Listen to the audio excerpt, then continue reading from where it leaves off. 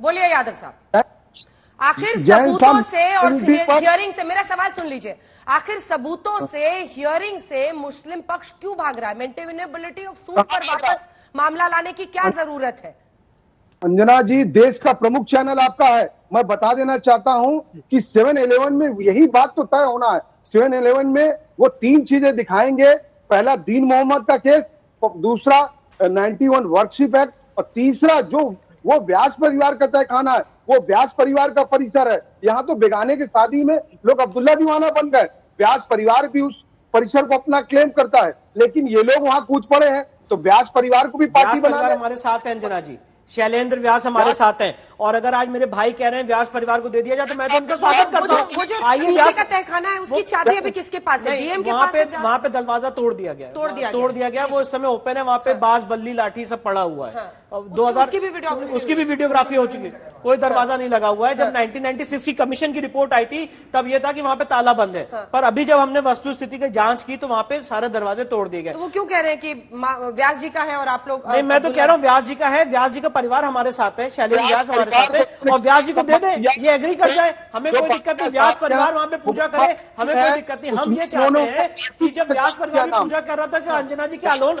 अकेले पूजा कर रहा था। हिंदू समाज के लोग भी तो जाते थे वहाँ पे ठीक है जवाब सुन लेते हैं वो स्काइप पे उनकी आवाज़ नहीं आएगी। ये एक साथ दोनों की आवाज़ नहीं आएगी। यादव साहब बोलिए। और दलील के साथ बोलिए हाँ। व्यास परिवार की जो बात कर रहे हैं वो याचिका इस समय माननीय उच्च न्यायालय इलाहाबाद में पेंडिंग है जस्टिस पाडिया साहब। ने प्रोसीडिंग के स्टे कर रखा है।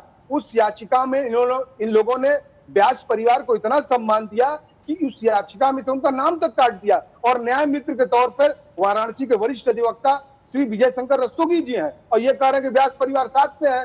व्यास परिवार का तो वहाँ से ठीक। नाबूद कर दिया एकदम आपकी व्यास परिवार की चिंता सिर आँखों पर अब वापस ज्ञान वापी के मुद्दे पर आते हैं क्योंकि ये मेन एजेंडा नहीं है जो कोर्ट में रखा रखा जाएगा। अब दोनों पक्षों को ही वीडियोग्राफी फोटोग्राफी सब दी जा रही है। अब ऐसे में बताइए कि कैसे दलीलें आपकी आगे बढ़ेंगी? जब मुस्लिम पक्ष को अब कहना है सबसे बड़ी बात क्या होगी आप लोगों की तरफ़ से? ये समझाइए।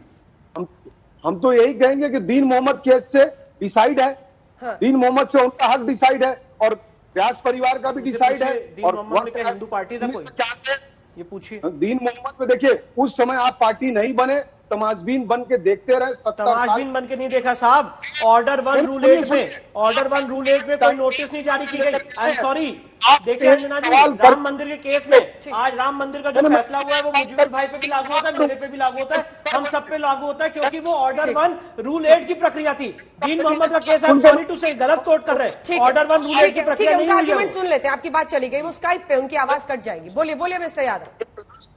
एक लास्ट सवाल सुनकर मेरी बात खत्म हो जाएगी हाँ। कि आपने ये मुकदमा दाखिल किया है। इसका लिम, लिमिटेशन औरंगज़ेब काल से हुआ या आज़ादी के बाद से हुआ? ये हाईली टाइम बार्ड मुकदमा आपने क्यों दाखिल कर दिया? बस इस पर आप अपना जवाब दे दें। ठीक है इसका जवाब दीजिए। क्या कि आज़ादी के बाद क्यों दाखिल कर हाँ।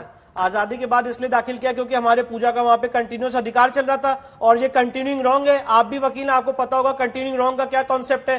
तो जब हमारा वहाँ पे पूजा का अधिकार रोका गया ये पाँच महिलाएँ सामने आई हैं। 1991 से ऑलरेडी रस्तोगी साहब का केस चल रहा है जो इलाहाबाद हाईकोर्ट में स्टे कर रखा है। अब हम पूजा का अधिकार मांग रहे हैं और ये अधिकार भारत का संविधान आर्टिकल 25 हमको देता है। अगर आपने मेरा मंदिर तोड़ के उसको मस्जिद में कन्वर्ट किया है तो उसको कभी भी रेस्टोर करने के लिए हम कोर्ट में आगे जा सकते हैं। मैंने राम मंदिर का पैरा 356 से लेके आपको सारी चीज़ें कोर्ट की कि भक्त और भगवान दोनों सामने आ सकते हैं अगर शिवायत नेग्लिजेंट रहो। और यहाँ पे कोई शिवायत नहीं था हमें पोजेशन से बाहर किया गया है इसलिए आज हम सामने आए तो ये सवाल आप हमसे नहीं पूछ सकते आपको खुद से पूछना चाहिए कि वफ एक्ट में सेक्शन 108 क्यों बना हुआ है? आप जब चाहे अंजना जी एक बात देखिए कितनी बड़ी विडंबना है। आप जब चाहे किसी भी संपत्ति को वफ संपत्ति घोषित कर दे। मैं आज यादव भाई से एक सवाल पूछना चाहता हूँ ताजमहल को 2005 में ही वफ बोर्ड ने वफ संपत्ति क्यों घोषित किया? शाहजहां ने बनाई थी ना?